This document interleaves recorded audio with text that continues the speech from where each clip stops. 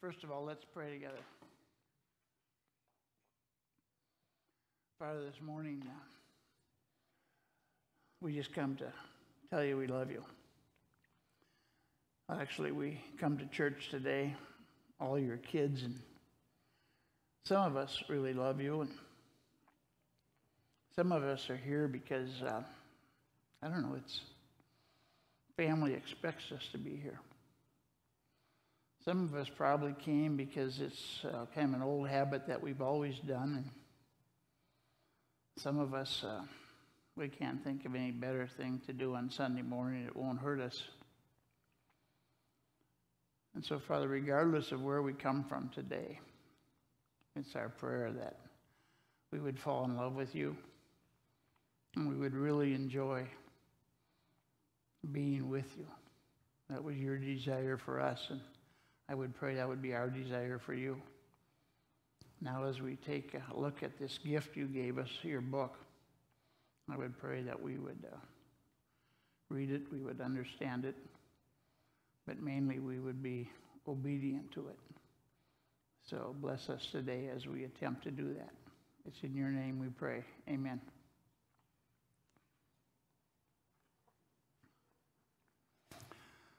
You've all figured out by now that, uh, to put it mildly, 2023 was not a good year for the Kansas City Royals.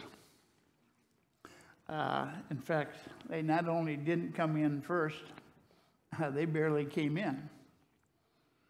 And uh, certainly in sports and actually in a lot of areas of our life, I would think most of us would have to say, uh, Boy, see, being number one just seems to be so important. But it's more than important, it almost becomes vital. We treat it like it's the only thing that counts. And many of us here would tend to agree with that. That's a go for it attitude. We're all for that. So, if that's the case, then what do we do with the book of Mark? That gospel, whose author seems to base his whole book on chapter 10, verse 43, when he quotes Jesus Whoever wants to become great among you must be your servant, and whoever wants to be first must be a slave of all. For even the Son of Man did not come to be served, but to serve, to give his life a ransom for many. That could just cause a little problem for some of us. What kind of a person would actually write something like that? Who was this Mark anyway? Before we get into uh, what he actually wrote, let's uh, take a look at who he was and where did he come from. It seems like most of the other New Testament authors were well known somebodies, like Matthew and Luke and John, James, they were all apostles. And of course, there was Paul the great evangelist. So, who was this Mark, and what were the situations and influences in his life that may have called him to write one of the Gospels? And you and I, we all have first names and, of course, last names, and so was true for him.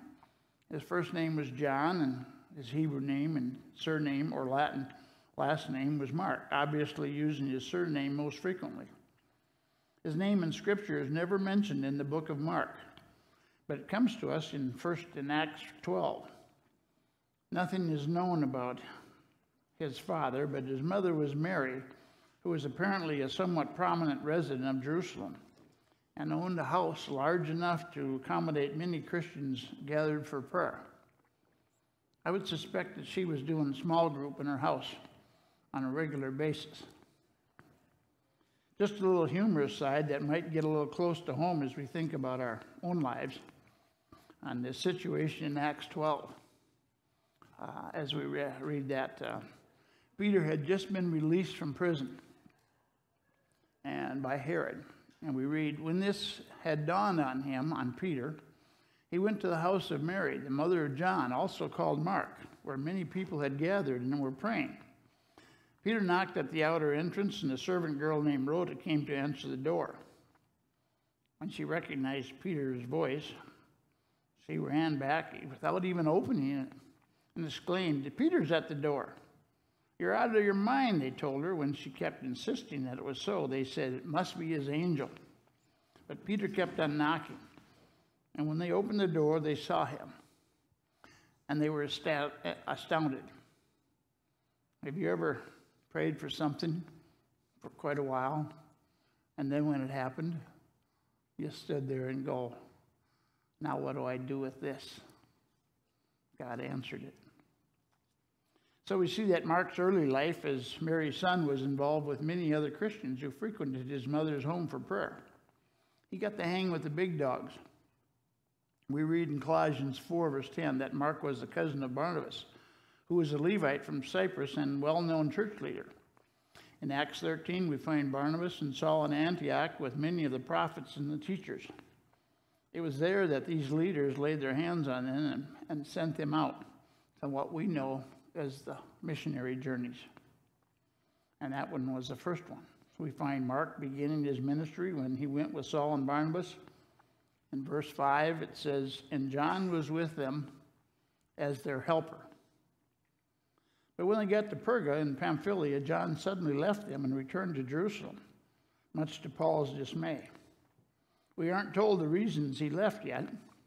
There's many speculations that have come up. One was that since they had laid hands on Paul and Barnabas and not on him, he probably didn't feel called. Now, perhaps he found out that the work of being a traveling uh, missionary turned out to be harder than he expected. Others detected a growing dislike for Paul since the leadership influence of his cousin Barnabas seemed to be declining. There was a little bit of jealousy in there, maybe. A bit later, we read in Acts 15 when Paul and Barnabas planned their second missionary journey, Barnabas wanted to ask Mark to come along, but Paul was not at all interested. We read Barnabas wanted to take John, also called Mark, with him, but Paul did not think it wise to take him because he had deserted them in Pamphylia and had not continued with them in the work. They had such a sharp disagreement that they parted company. Barnabas took Mark and sailed for Cyprus. And Paul chose Silas and left, commended by the brothers to the grace of the Lord. I guess we could kind of sit back and justify, and I would think, you know, it wasn't such a bad idea. You know, really now we got two missionary teams going out instead of just one, so we just doubled the efforts. So there's a little glitch in the works, but we now have two missionary teams. We've gotten really better instructions than that on how to do mission work. We find in Romans 12, 18, live at peace with everyone as far as it depends on you. And again in Hebrews 10, 24, and let us consider how we may spur one another on toward love and good deeds their spurring kind of went to gouging, and it caused problems. After that sharp separation, we don't find anything written in Scripture regarding Mark for a long time.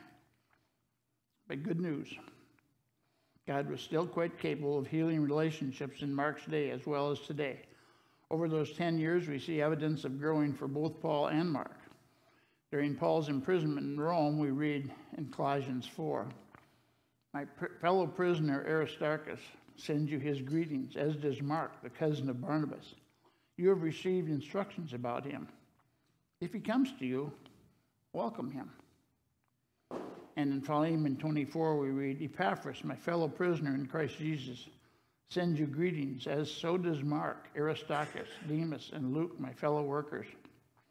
And later, when Paul was imprisoned in Rome for the second time, awaiting his martyrdom, he asked young Timothy, Take Mark and bring him with you, for he is profitable to me for ministry. What a godly compliment of seeing that relationship do this again. How many different people and situations does God put together to bring healings and ministry and living testimonies of his faithfulness. As much as Mark's name and popularity in reference to this gospel is present in Scripture, seems that much of what that came by indirect means. He was not named as one of Jesus' apostles. He was probably a teenager during Jesus' ministry years, and it isn't recorded regarding any personal contacts with Jesus.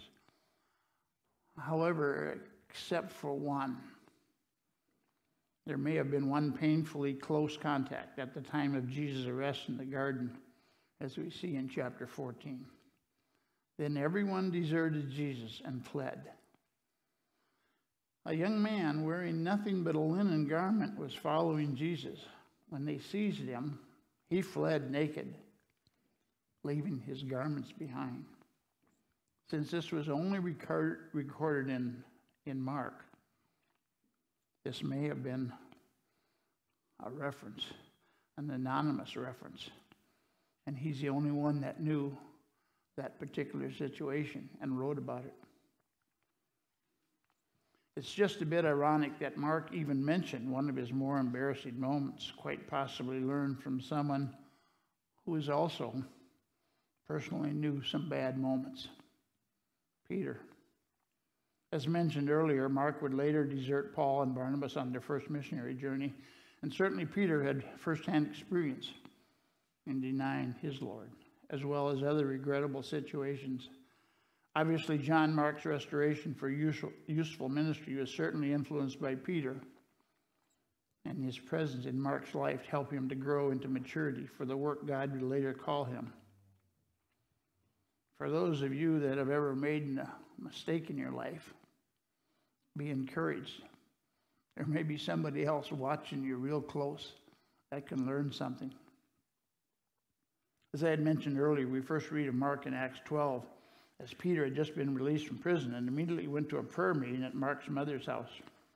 Apparently, Peter and the other apostles were frequent visitors in that home, so growing up, Mark was well exposed to personal teachings of the apostles.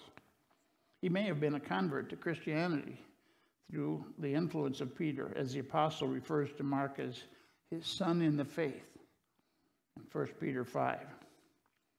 Many early church fathers agree that Mark wrote this book, and they may have even retitled it Peter's Gospel. Since the Jerusalem church met at Mark's house, and since Mark had worked with Peter in Rome, it was natural that Peter was one of the major sources of the contents of the Gospel of Mark. This book was written sometime between 50 and 70 AD giving it a date before the destruction of Jerusalem in 70 AD, was based on Jesus' comment in Mark 13, where he says, Do you see all these great buildings? Not one stone here will be left on another. Everyone will be thrown down. One of the church fathers, Irenaeus, stated that Mark wrote the gospel after the death of Peter, since Peter died in the persecution of the Emperor Nero, which lasted from about 63 to 64. The earliest would probably be 64 AD. Even though we're in the New Testament in terms of our current teaching series, we never really leave the Old Testament. At least I don't. God's plan, way back in Genesis 12 through the Abrahamic covenant, was to bless his people so that they might be a blessing, so that all the world might be blessed and through him know his name. We see this evident here in the four Gospels, specifically in terms of their audiences, as we find the four Gospels being very diverse. As Carrie uh, told us again last week, Matthew was written to a Jewish audience where kingship was key. Luke addressed the Greeks, as we've been hearing Pastor J.D., emphasizing Jesus as the Son of Man. John keys in on the Christians in the church and presents Christ as the Son of God. Here in Mark, we find him zeroing in on the Gentile believers in Rome, emphasizing the servanthood of Jesus. His congregation was certainly not Jewish and therefore did not speak Aramaic as Jesus and Mark did, so we find him translating some of the Aramaic terms, such as mentioning Simon to mean Peter. And when Jesus healed Jairus' daughter, he called to her Talitha Kuman. Mark translated that for them as to mean little girl. The Gospel of Mark includes far fewer references to the Old Testament than the other Gospels. And Mark even makes reference to Rufus, the son of Simon of Cyrene, who was a prominent, prominent member of the Roman church. Mark obviously does not include any of Jesus' genealogy at the beginning of his writing. This would only be of interest to Jewish readers, who was important and had to have introductions in genealogy. And he was writing to Gentiles. His writing style is one of action, which may have been a reflection of his mentor, Peter. It seems like his operative word immediately and straightway were so important to him. We find him using it 42 times in his gospel. Every once in a while, just for fun, and just for fun, I'll sit down and read one book of the Bible. Not to study it, but just to sit down and read it all the way through. Uh, a number of months ago, I was I picked up Mark and was reading that, and I got tired just reading it. Uh, by the time I got to the end, I was almost out of breath. That was Mark's style. It's a book of action, which certainly fit into the Roman way of thinking, that of movement and power. As is true of all writers of Scripture, we know that it was the Holy Spirit who gave the ideas and words to the human authors. We also know that in the middle of that, God used a variety of men throughout history all with different backgrounds and personalities and life experiences. And such was true of Mark. He also was used by God to write and was influenced by many different people and life situations. As stated earlier, according to Acts 12, he grew up in that home where there was so much activity involving the mother who opened up her home for regular prayer meetings. He later traveled with Paul and Barnabas on the first missionary trip, even though he opted out early. And despite that interruption, he and Paul apparently grew to appreciate each other, and he was later involved with Paul during his imprisonments in Rome. However, it's very obvious that Peter was a primary influence in Mark's life. Early tradition stated that Mark was the interpreter of Peter, writing down the words and deeds of Lord Jesus Christ as Peter related them. We seem to believe that as Mark accompanied Peter, he wrote down Peter's messages. Peter the fisherman may not have spoken fluent Greek, so perhaps that may be a reason that Mark interpreted for him. Just a little note uh, interjected here regarding the very end of Mark's gospel, chapter 16, verse 9 through 20. This is somewhat of a disputed section since it's missing from some early Greek manuscripts. Note that this seems to be a textual problem rather than one of inspiration. The essential contents of those verses are found in other parts of Scripture. So you don't need to wonder and be nervous is that included in Scripture? Indeed, it is. If you have any questions regarding this, you can refer to a sermon by our one and only uh, pastor who preached on Revelation back in uh, December 4 in 2016. You can get that online uh, if you want to see some details. He addresses that. So, now what does this gospel actually say? In a word, Mark's gospel presents Jesus as a servant. Perhaps it's best stated in 1045, excuse me, when he says, for even the Son of Man came not to minister, be ministered unto, but to minister, and to give his life a ransom for many. Then he breaks the chapter, 16 chapters, down into six sections the presentation of the servant, the authority of the servant, the opposition to the servant, the instructions by the servant, the rejection of the servant, and finally, the resurrection of the servant. The ministry of Jesus began with crowds in Galilee. Then it moves on to concentrating on the 12 apostles and finally ends in Judea and Jerusalem, alone on the cross. In the Gentile and especially the Roman world, action, speed, and busyness were the norm. If Some big event was on the horizon. It was announced boldly in advance. King were traveling somewhere, an envoy would travel ahead of him, making sure the roads are safe for travel, as well as heralding his coming. Since Mark was beginning to intentionally write about the most important person who ever lived, it was very appropriate to have someone introduce his coming. Enter John the Baptist, who announces the coming of the Messiah. In fact, the original announcer of the announcer of Jesus is done way back almost 800, mile, 800 years earlier by the prophet Isaiah. Mark 1 2 reads, As it is written in Isaiah the prophet, Behold, I will send my messenger ahead of you, who will prepare your way, a voice of one crying in the wilderness. Prepare the way of the Lord, make straight paths for him. And so it happened. John the Baptist appeared to all the country of Judea and Jerusalem, baptizing those in the Jordan River, river who confessed their sins. His preaching was very deliberate. After me will come one more powerful than I, the thongs of whose sandals I am not worthy to stoop down and untie. I baptize with water, but he will baptize with the Holy Spirit. The irony of this huge heralding by Isaiah and John the Baptist was that Mark intentionally neglects any genealogy of this important figure to this Gentile audience. This would have been a large part of the introduction of anyone of importance. During that era, the 33 AD edition of that book who's who in Jerusalem would have not sold out real quickly. Mark was not about pomp, popularity, or power. He was there to introduce the gospel to the Gentiles, as evidenced by the suffering servant. First through the healing miracles, and eventually through his personal death and resurrection.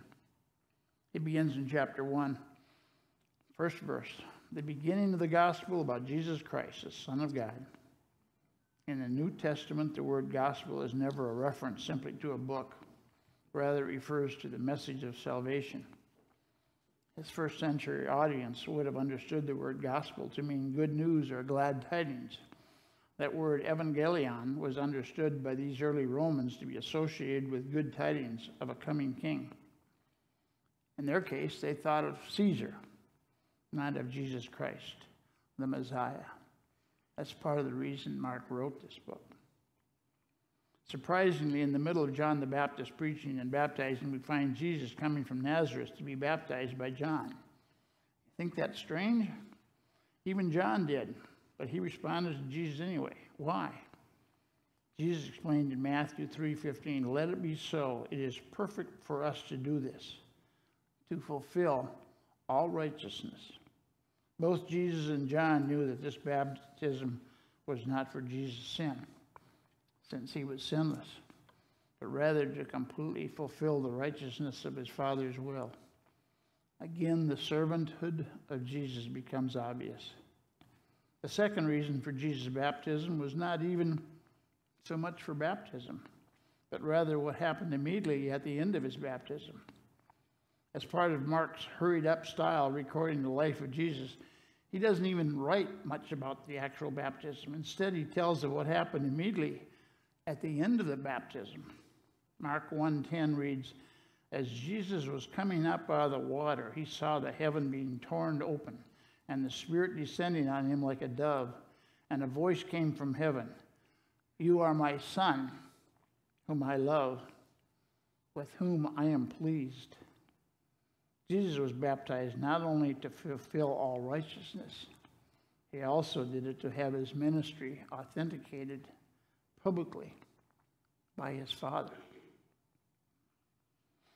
With the full endorsement of his Father, this Jesus was free to demonstrate his divine authority, even in his role as a servant. Shortly after his Father had spoken, excuse me, we read in verse 12 chapter 1. At once the Spirit sent him out into the desert, and he was in the desert 40 days being tempted by Satan. In Mark's rush to give only highlights of the gospel. He simply says that the angels attended him. In Matthew 4, we hear more details as, as Jesus responds to Satan three times. It is written, it is written, it is written. Satan, get behind me. With Mark's abruptness and frequent jumping from one event to another, we may start to think that even Jesus was on a time clock. Not necessarily so. Many times in Scripture we read references to the word time, but they have very little in common with our clock or calendar time. For example, we read in 2 Corinthians 6 2, and at just the right time, Christ died for the ungodly. Or in Romans 5 8, and at just the right time, Christ, while we were still sinners, Christ died for the ungodly. Or Esther's question to Mordecai in chapter 4 of Esther. And who knows but that you have come to the royal position for such a time as this? Here it's different. After Jesus' temptation, he was still in the wilderness preaching. And John was still baptizing in the Jordan River. That's where we read in Mark 1:14. Now after John had been taken into custody, Jesus came into Galilee, preaching the gospel of God and saying, "The time is fulfilled, and the kingdom of God is at hand. Repent and believe the good news." Yes, now the time was right for Jesus to begin his earthly ministry for real.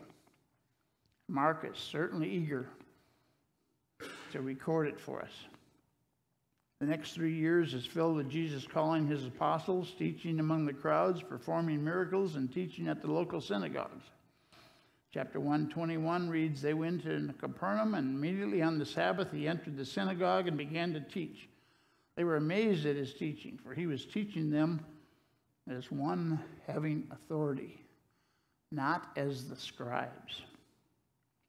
Already knowing his future and his ultimate purpose, Jesus began the process of selecting and calling those who would be used to continue the spread of the gospel.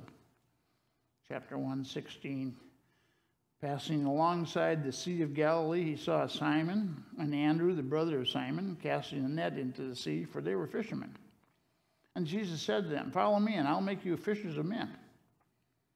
And immediately they left their nets and followed him. And going on a little further, he saw James, the son of Zebedee, and John, the sons of thunder, his brother, who were in their boat mending the nets. And immediately he called to them, and they left their father Zebedee in the boat with the hired servants and followed him. These were not mere invites to a couple of ragtag fishermen that Jesus just happened to stumble on while he was strolling around the lake. These were intentional selections and commands made by someone on a mission of getting the gospel to the whole world. And we find Jesus continuing that selection process with eight other men until he had gathered his 12 apostles. His purpose was to use his next three years in doing miracles and teaching the multitudes, but also to use this intimate time with 12 apostles who could follow, watch closely, and learn how to model the methods and intentions of their master. Just as he, we had seen in the Old Testament in Exodus 25, we read that God instructed Moses to build a sanctuary for him, that I may dwell with him with them. The same desire is true of Jesus as he called his, his apostles. In Mark 3:14 we read, he appointed 12 apostles, designating them that they might be with him and that he might send them out to preach and to have authority to drive out demons. Intimacy between the Father and his people, as well as Jesus and his called out ones was and still is extremely important. During this time, we find Jesus healing Simon's mother in law. That same day, they encountered many others sick and demon possessed whom Jesus healed.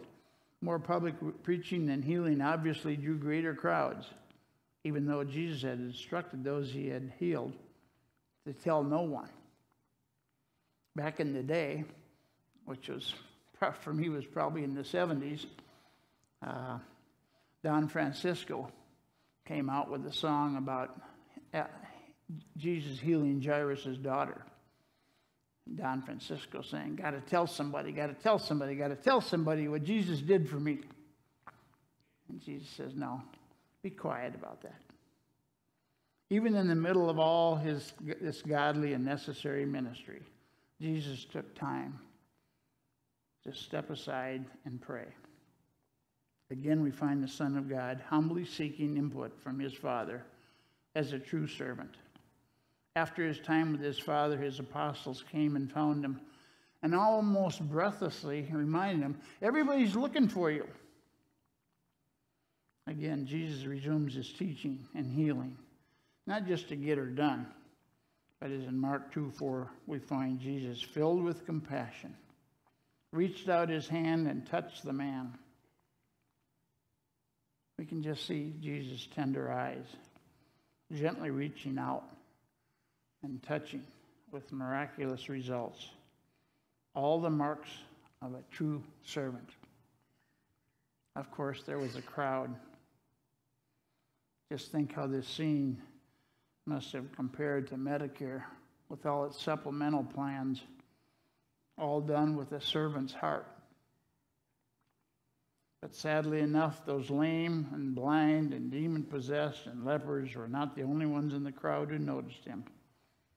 If a primary election would have been held at that time, this future messianic king would not have won by a landslide.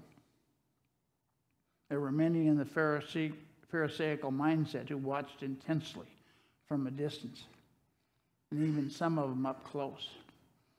They also took note of what Jesus did and the way that he did it and the results that were evident but they watched exclusively from doubting, questioning, and critical eyes. Their observation only brought on extremely cynical questions and accusations, which at best only exposed their defiled hearts. Perhaps they could have even tolerated some of the healings in the name of humanitarian dignity, but they drew the line when Jesus made any references to his divinity. They could handle the paralytic being lowered through the roof. But that Jesus had, son, had said, Son, your sins are forgiven. That crossed the line of blasphemy for them. Not only was criticism coming from the angry Pharisees, it was also coming from a more low keyed crowd, but consistent hometown group. They seemed a bit kinder in that they primarily asked questions as opposed to making vehement statements. However, in Mark 6 1, we read Jesus left there and went to his hometown of Nazareth, accompanied by his disciples. When the Sabbath came, he began to teach in the synagogue, and many who heard him were amazed. Where did this man get these things? What's the wisdom that has been given him? He even does miracles. Isn't he the carpenter? And they took offense at him. Yes, Jesus' first week of life as an unwanted baby in a manger was difficult, but actually quite sweet and memorable and non threatening to the world. Then the beginning of his three years of public ministry started quite well. He selected his apostles, and they seemed to be kind of faithful, interested, at times. He traveled around Galilee teaching and making many sick, sick people grateful, and he even had to hold back the crowds due his, to his popularity. All this time, Jesus traveled many miles, teaching, performing miracles, the obvious external things, as well as waiting for his internal, more quiet, but intense purpose with his apostles. Unfortunately, even they did not really understand who he was, much less what his ultimate purpose was. A breakthrough began to happen as we read in chapter 8, verse 27. Jesus and his disciples went on to the villages around Caesarea Philippi. Caesarea Philippi was a kind of out of the place Gentile town 25 miles up the road, way in the northeast. That's like from here to Ottawa. And Jesus takes him out for a walk one day. And on that way, he asked him, So who do people say that I am?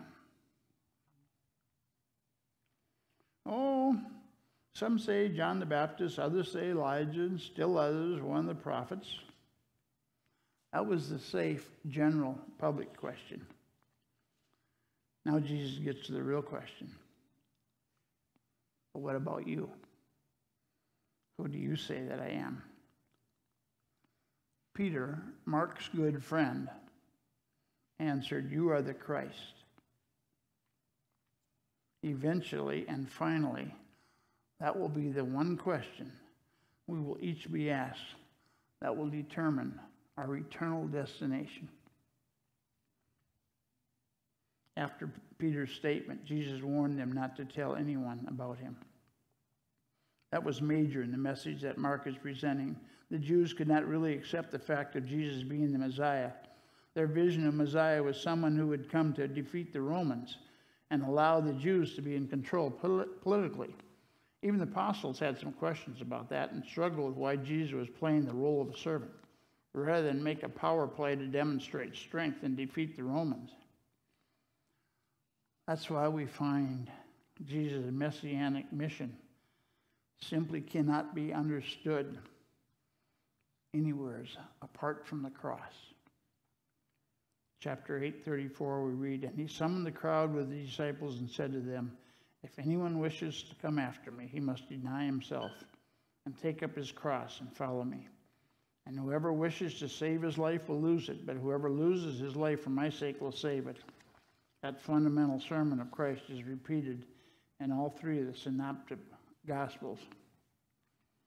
With Peter's bold statement in front of the apostles, he was confirming that they recognized who Jesus really was. In Matthew 16, he says, You are the Christ, the Son of the living God. Christos means Messiah, which means anointed one. Just maybe the apostles were beginning to get the true picture of the very one who had called them and whom they had been following. And yet, even after the amazing transfiguration at which Peter, James, and John were privileged to have front row seats, the jealousy, pride, and lack of understanding of the word servant was not part of their mindset. They were still trying to figure out their eventual seating arrangements.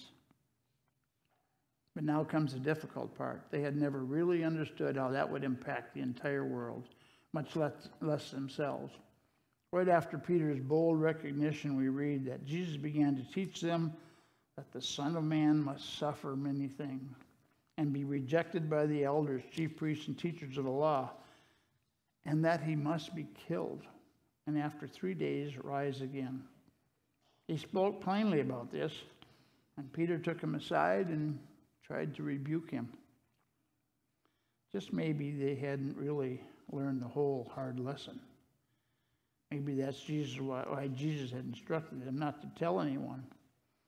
He didn't want them to tell just part of the story. He hadn't died or arose. The gospel that they were about ready to tell was not yet complete. Up until now, Jesus was trying to convince them that he was indeed the Messiah. From here on in, he's beginning to teach him how he was going to suffer and die by the crucifixion of the religious leaders. Each day was going to be a day closer to Jerusalem where the suffering servant was eventually going to pay that horrible but wonderful price.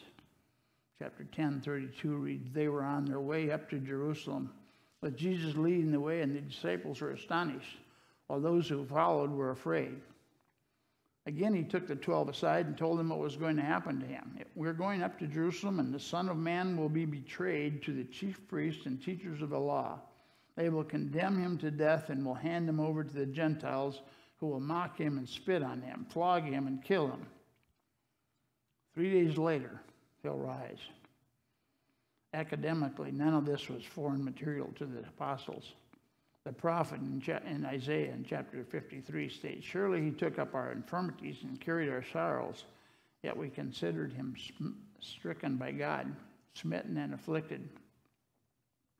He was oppressed, demonstrating that Jesus had fulfilled the Old Testament prophecy. We read in 1 Peter 2 He himself bore our sins in his body on the cross so that we might die to sins.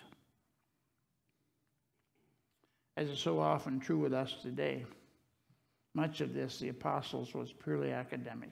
They nodded their heads in agreement. They faithfully stayed with him, uh, except when he went to pray, and then they got sleepy. They followed most of his instructions, like meeting for supper with him one night and going to get his young donkey that they had asked for. When things got a bit out of control during the final week, Peter even cut off the ear of one of the soldiers. They certainly were on his side. But did they really understand his week of suffering? Obviously not. In chapter 9, 32, Jesus said, The Son of Man is going to be betrayed into the hands of men. They will kill him, and after three days he will rise. But did they not understand what he meant and we were afraid to ask him about it. Three times in Mark, we find Jesus explicitly explaining to his disciples what his last week on earth would involve. And still, they simply missed the whole point. Previously, Jesus had taught everyone would listen, who, who would listen, crippled, blind, critics, and apostles alike. And then when he did a miracle, he told them not to tell anyone simply because that would not have been the complete gospel. Now things had changed. He was actively facing the cross. He was heading into Jerusalem and all that that entailed.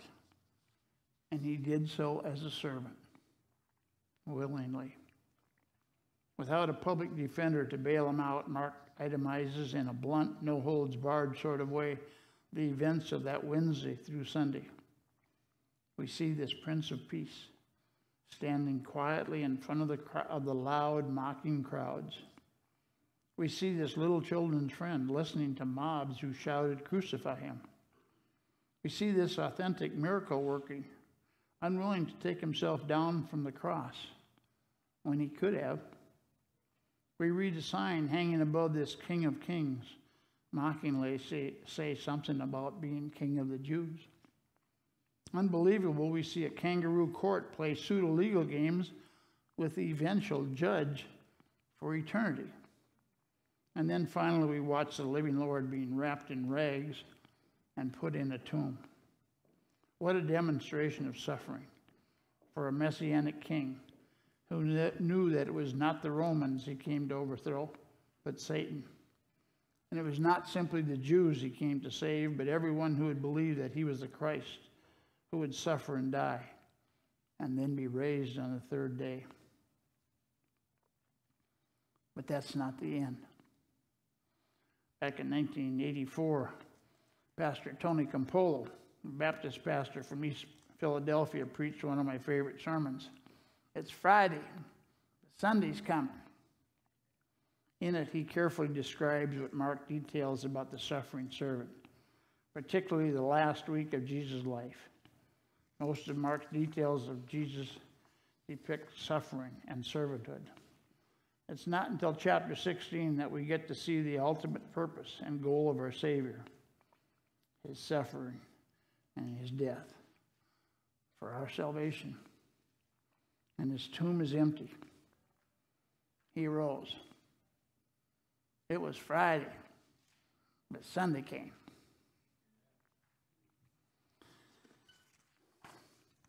You may now be dismissed and a little break and get ready to worship this risen one.